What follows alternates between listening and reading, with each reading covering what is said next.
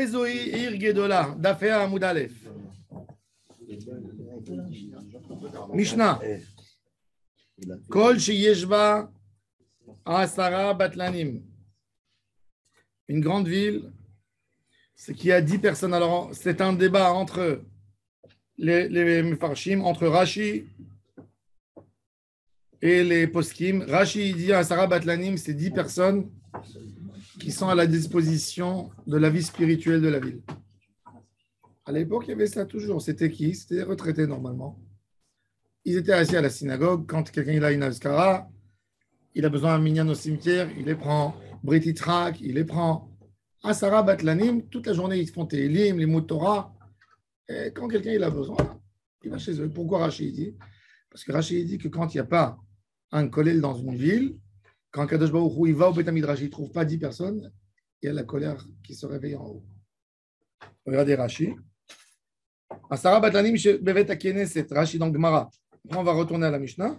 Venizoni Michel Tzibour, Kedel Liot Metsuim Betfila Bevet Akeneset, de Amar Mor, Bemasechet Berachot, Kevan Sheva Kadosh Baruch Hu, Bevet Akeneset, Venom Mote Asara, Chaz Shalom, il y a Midadadin qui se, qui se réveille.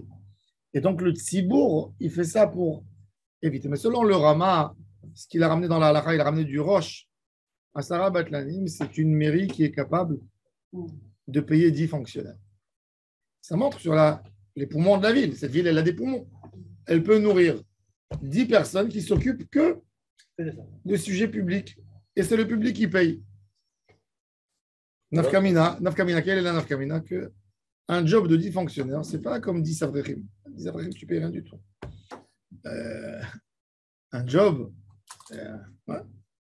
surtout en Israël. Si c'est une grande ville, il n'y a pas de peuvent. Il n'y a pas. C'est pas une ville. C'est pas une ville. Ils peuvent être Magdilim. Ça veut dire Ils peuvent avoir, Minyan, ils peuvent avoir. La, Ils peuvent avoir Minyan, ils peuvent avoir, mais s'il n'y a pas, s'il n'y a pas des gens, il y a personne qui, qui, qui, qui est capable de nourrir et chacun fait à son compte, c'est pas une ville. Il peut quand même y avoir Minyan, il peut quand même avoir Katadora, Megillah. Oui, mais c'est pas une île, c'est un kfar. D'accord, mais ça veut dire que eux, même s'il y a Megillah chez eux, ils peuvent aller faire le, la veille ou le Yom HaKnissa de l'autre ville. איזו עיר גדולה? כל שיש בה עשרה בטלנים, פחות מכאן, הרי זה כפר. באלו אמרו מקדימין. Dans cela, on a dit Magdimim. Que dans des moments de joie. Mais il y a des choses, des mitzvot, qu'on est Me'acharim, on n'est jamais Magdimim. Alors, Tisha B'Av d'abord, on n'est jamais Magdim. Pourquoi? Vous savez pourquoi? Pourquoi on ne fait pas Tisha B'Av avant? Parce que peut-être Mashiach va venir. Pourquoi tu vas jeûner? C'est un Me'acharim. Et quoi encore? Zman Ha'atse Kohanim Ve'aram. Il y a des qui. C'est d'après la version de Rashi, c'est Zman Ha'atse Kohanim Ve'aram, et pas Zman Ha'atse Kohanim comme qui est écrit dans la Mishnah. Alors, c'est quoi? C'est dans ma Sechet Taranit. Alors, regardez Rashi.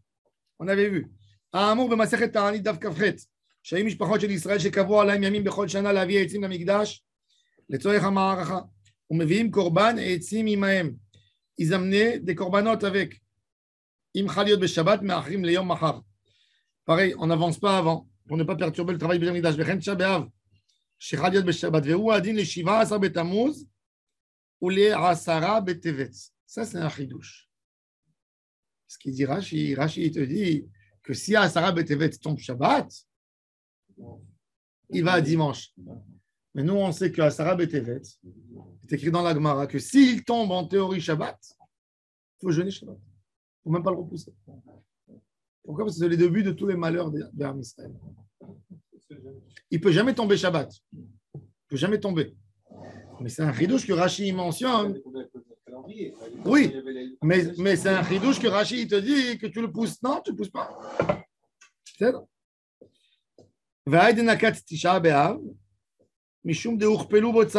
il a, eu, il a eu les tsarot multipliés deux fois de Béav, le temple il a été détruit.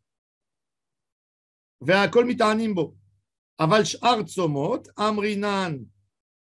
ne faut pas dire en public, Amrinan Mazeret Rosh Hashanah, Ratsu Mitanim, Ratsu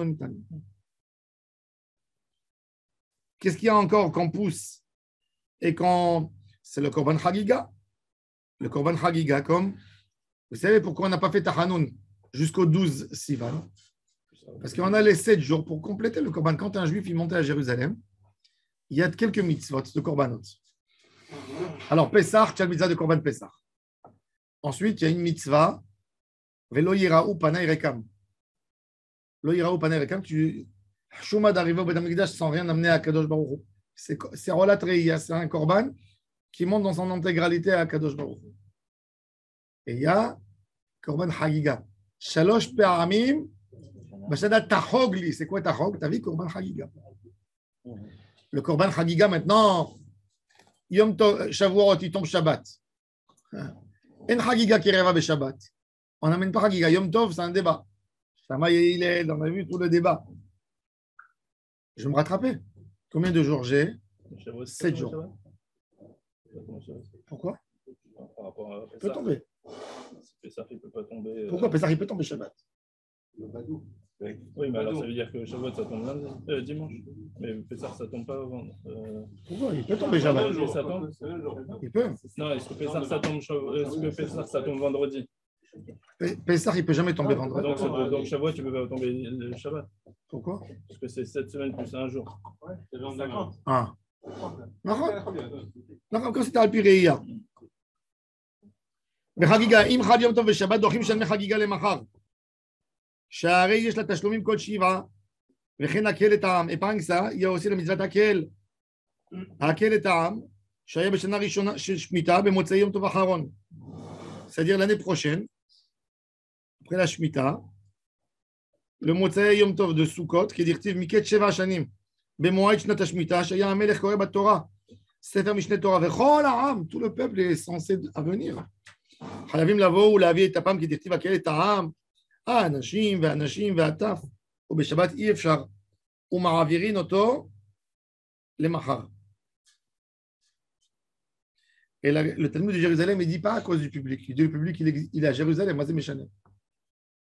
Quel chilul Shabbat il y a Quel autre ça? Il y, a, la muraille autour de Jérusalem. Quel autre ça? Il dit, le, le Talmud de Jérusalem, il dit, il n'y a aucun problème. Il dit, le seul problème, c'était le- c'était l'estrade qu'ils ont montée pour le Hakel. Il fallait monter une estrade en bois, grande estrade. Et pour qu'elle ne tombe pas, il lui faut beaucoup de place autour. Et comme il lui faut beaucoup de place autour, il faut la construire. Alors il dit, alors construis-la avant Shabbat, ma baria. Il dit, ça ne permettra pas au Kohanim de travailler facilement dans la Hazara. On ne monte pas cette estrade et tout le Shabbat, elle va rester là-bas. Ça gêne les Kohanim. Il faut monter Ah, l'estrade une heure avant et une heure après, il faut qu'elle soit- qu'il ne soit plus là. Alors, pour ces Inyan des Kohanim, le Talmud de Jérusalem il dit pour l'espace qu'il y a, qui doit avoir au Beth Amikdash, on repousse le Hakel à dimanche. Incroyable. Par rapport à la Melacha elle-même? Pas par rapport à la Melcha. Il y a qu'on peut dire, comme c'est pas Avoda, c'est l'Odoche Shabbat, le- de, de monter l'estrade. Mais j'ai pas envie de la monter avant Shabbat et de la laisser tout le Shabbat pour qu'elle gêne les Kohanim. Alors je, je repousse la mitzvah de Hakel. Ale Hazara. C'est pour ça qu'on va faire la Ce qui est étonnant, c'est comment ça se fait que, que Hérode, que Hérode n'a pas fait dans le, dans le deuxième Beth Amikdash un plan de construction d'une, d'un endroit élevé pour le Kohen, pour le roi, pour lire dans le Sefer Torah. Permanent. Oui. C'est intéressant. Une fois tous les. Sept ans. Quand vous allez à Echal Shlomo à Jérusalem, comme il a, je vous ai dit que le Rav Kook, voulait renouveler le Sanhedrin, alors ils, avaient monté à Echal Shlomo, c'était leur rêve du mouvement sioniste. Quand vous allez voir, vous allez voir, il y a un mur blanc, et vous allez voir, il y a un tout petit balcon comme ça qui sort. C'était le balcon prévu pour le Mahamad Akel, où le grand rabbin d'Israël allait faire sortir un Sefer Torah. Il va avoir une grande place, toute King George, et il va leur lire. Et ils voulaient faire ça pour ça. Donc, le Rav de Brisk, ils regardaient leur folie, à quel point, au lieu de le faire au Beth Amikdash, ils font de. Ah, Ils ont appelé l'endroit, comment il s'est appelé? Echal Shlomo, euh, pour redonner une signification. C'est pour ça que, le- que les rabbinim euh, orthodoxe, ultra-orthodoxe, c'est- on fait la guerre contre ce- cette histoire de Hajj. Bon. Alors, en tous les cas, mais Acharin velo Magdimin. Afal Magdimin velo que le Purim, on est, Magdim et on n'est pas Meacher, Mutarim Behesped ou Ta'alit. Quelqu'un du village, il a décidé de faire le 12, la lecture de la Megillah. Et là, ils ont un mort qui est mort dans le, village. Est-ce qu'ils ont le droit de faire un espède ou c'est Purim? Et assourd de faire espède À Purim, on ne fait pas de espède. Je dis, le Magdimin, il t'autorise à faire un espède. Moutarim espède ou betaranit, taranit chalom pour quelqu'un. Ça veut dire quoi, Magdimi alors. Magdimin, c'est un individu, c'est pas tout le peuple. C'est pas tout le monde. C'est un Purim pour toi. Alors tu peux pas, même si c'est pour le village entier, vous ne pouvez pas imposer à tout le village de ne pas faire un espède. Ou matanot le'evionim. On va voir c'est quoi matanot le'evionim. Amar Rabbi Yehuda. Et Matai. Tous ces halachot de Magdimin, Meacharin, c'est quand? C'est que dans les villes où il y a les jours du marché le lundi, jeudi. Pourquoi ils faisaient les jours du marché le lundi, jeudi? Ça montre l'influence de la vie religieuse à l'époque. Les gens des villages venaient écouter la Torah le lundi, jeudi. C'est la takana de Moshe Rabbeinu à la. La takana du lundi, jeudi, c'est après la guerre de Rephidim. Il va y avoir Amalek va Ilachem Israël des Rephidim parce qu'ils sont partis trois jours sans Torah.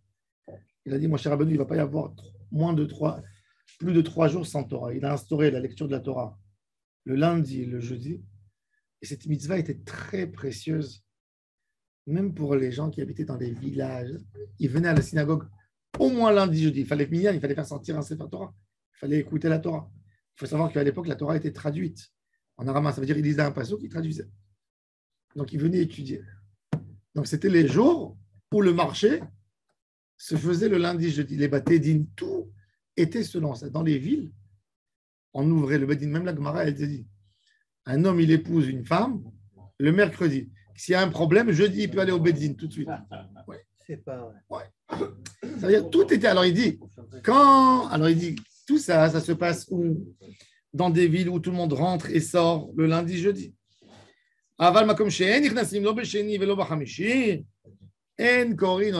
C'est-à-dire aujourd'hui, il y a quelqu'un dans au Golan, ou il y a quelqu'un, un soldat à l'armée. Ça, c'est un très bon exemple. Ouais. Un militaire à l'armée.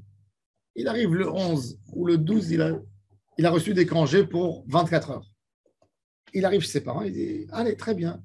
Et il voit, il a, il a encore quelques amis, il dit Venez, on fait un minyan, parce que pour lui, on n'aura pas de minyan. On fait la lecture de la Megillah maintenant. Il peut faire?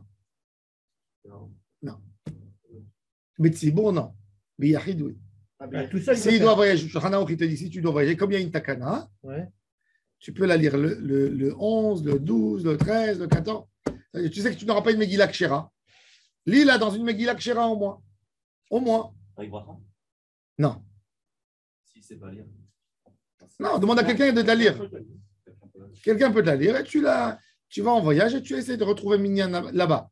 Mais au moins, assure-toi qu'il y a quelque chose. Parce qu'un an Yom on n'a plus de Yom donc, ça n'existe pour. Non, ça existe. Tu as, as- tu as quitté, ta mitzvah. Oui. La mitzvah, la bracha, elle n'est pas mal à Kivet. Non, mais c'est-à-dire qu'il peut plus être Magdim. Non, pas forcément. On a beaucoup de mitzvot, on a beaucoup de mitzvot qu'on a des safek, des sfekot. Alors on fait sans bracha. Regarde, regarde, fais sortir le Mishnah Mouravav.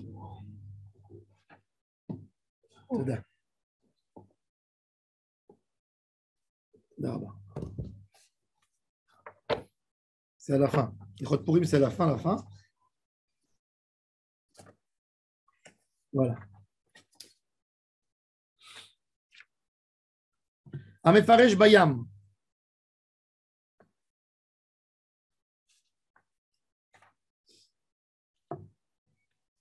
המפרש בים, והיוצא בשיירה, ואינו מוצא מגילה להוליך עימה.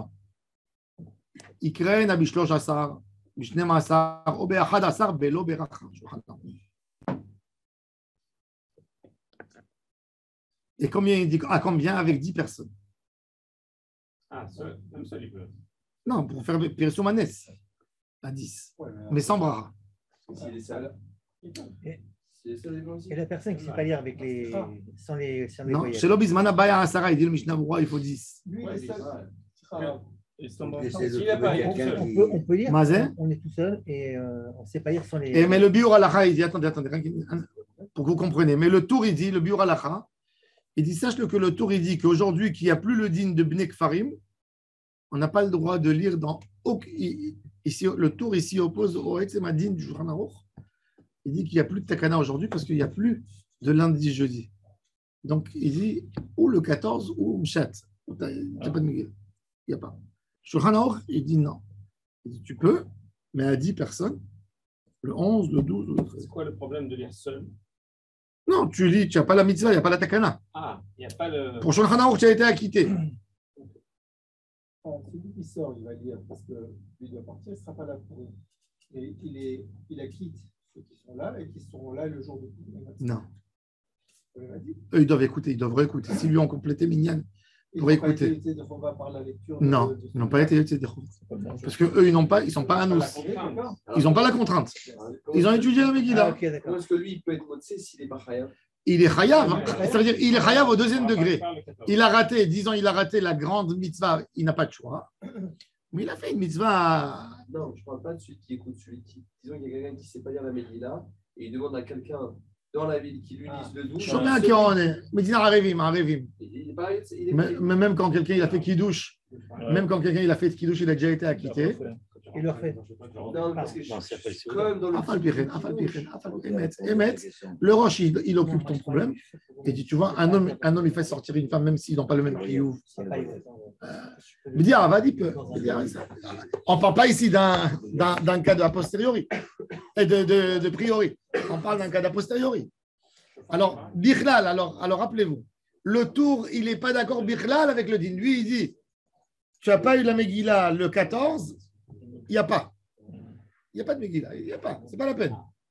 Shulchan il te dit oui, sans bracha, à 10 personnes, le 11, le 12 ou le 13, tu peux. Et on peut la lire avec les voyelles Est-ce qu'elle est Quelqu'un pas. ne sait pas lire. Est-ce qu'elle doit être. Non, Il a besoin de voyelles. des, des voilées. Quoi, tu veux faire du parchemin avec des voyelles Non. Non, un livre, un Un livre avec Megillah. la- Non, il faut lire dans une Megillah Kshira. Ah, d'accord. Ah, Ça doit être comme un Sefer Torah. Toujours dans, donc, la question, elle est... Sefer. Il y, a, il y a un débat, je croyais que tu parlais du débat des décisionnaires. Est-ce qu'on a le droit de ponctuer la Megillah? Il y a un débat dans ça. Ça veut dire quoi le ponctuel Mettre les, les points. Les les les- Les, les témanim, les témanim, qu'est-ce qu'ils font? Ils font dans leur parchemin de la Megillah, ils font un, un petit trou avec une aiguille à chaque sauf pasouk. Et même dans les Sefer Torah des témanim, ils ont, ils ont un, un morceau de métal comme ça qui fait, qui fait comme le siman de la talcha. Il fait un rond comme ça dans le sauf pasouk, au moins le sauf pasouk.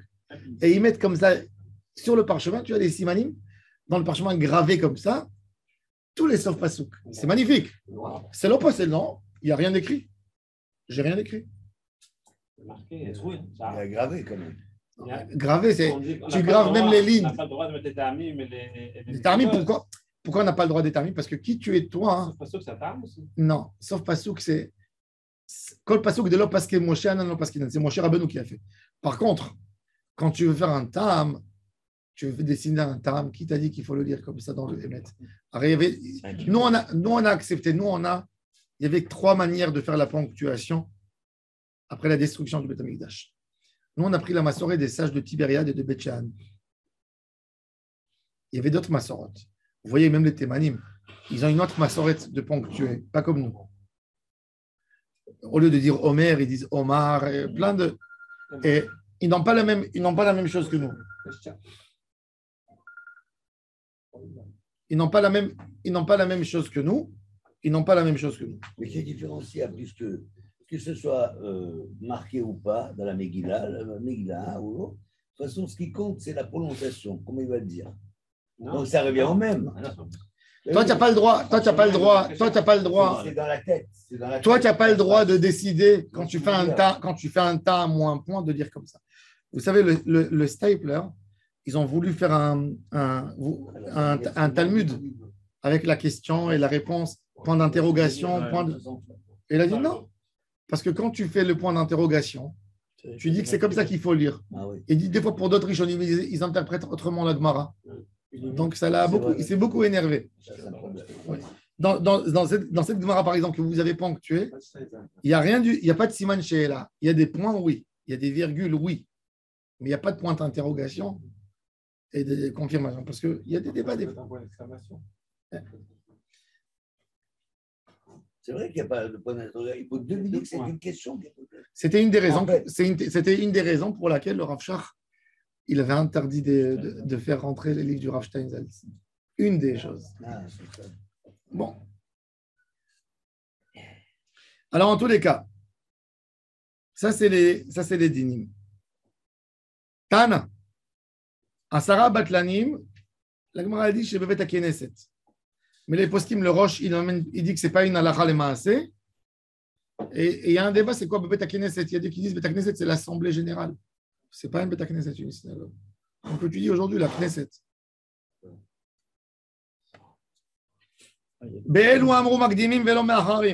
Pourquoi on a dit makdimim velo me'acharim?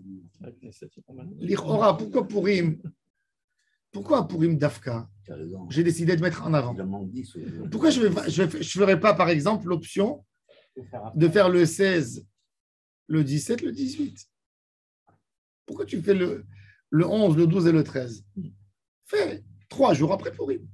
Non, parce que si on fait avant, même si on oublie ou on, on se trompe, on peut faire au, au bon moment. Eh ben, si pareil. on fait après, on oublie, c'est c'est fini. Euh, comme dans toutes les autres choses. hein. Et toutes les autres choses, pourquoi Parce qu'on on retarde les 30 jours de, qui viennent après, pour Pessah. Hein Marc Patli. On se perd des jours d'études. Non, on est- on n'est pas meilleur une simcha. Hein On n'est pas meilleur une simcha. On n'est pas Me'acher une simcha. Pourquoi le Korban Chagiga, tu es Me'acher Tu faisais une simcha quand tu as amené le Korban Chagiga. Parce que l'histoire elle a commencé avant. Alors regardez la Gemara, elle dit. Alors, il dit qu'il y a, il y a un problème. Il faut essayer de comprendre pourquoi Mordechai Yehudi a décidé. Mais il a écrit clair et net qu'il ne laissera pas faire passer plus tard, comme qui est écrit Velo Yaravor. C'est écrit un forage dans la Megillah. Velo Yaravor. Même que la signification Velo Yaravor, c'est que ça s'oublie jamais de Ham Israël. Mais tu as une autre Velo Yaravor. Sh- Abba- Amar Shmuel. Minayin she'en monim yamim leshanim. Il dit, il y a une autre halakha. Quand quelqu'un il a dit, il a juré qu'il ne boit pas du vin un an. Nazir. Il a juré, non, il, il a juré. Il faut l'enfermer. Un homme, il a juré à sa femme, il est retourné, il était arrosé. Elle a- ça a fait des histoires. Après, quand il a voulu, je te jure, je ne goûte pas de Maria un an. Mais je prends du whisky. Il y a une fois un Marocain, il il est parti au bar, il a demandé de lui donner la Maria avec une paille. Alors le, le serveur lui a dit J'ai jamais vu de ma vie des gens qui boivent la Maria avec la paille. Il a dit J'ai juré à ma femme que je m'éloignerais de la Maria. Ah, le mec. Ah, les tueurs. Alors, Ah, les tueurs. alors, Ah, les mecs, c'est hein. alors, alors, il dit Il a juré. Comment je, je calcule l'an 360. ouais, La date, il, a, il, il, avait annoncé. Euh, Il y a un problème. Quand je fais l'année Goy, l'année Ah oui. Goy, c'est un an complet. C'est 365 jours.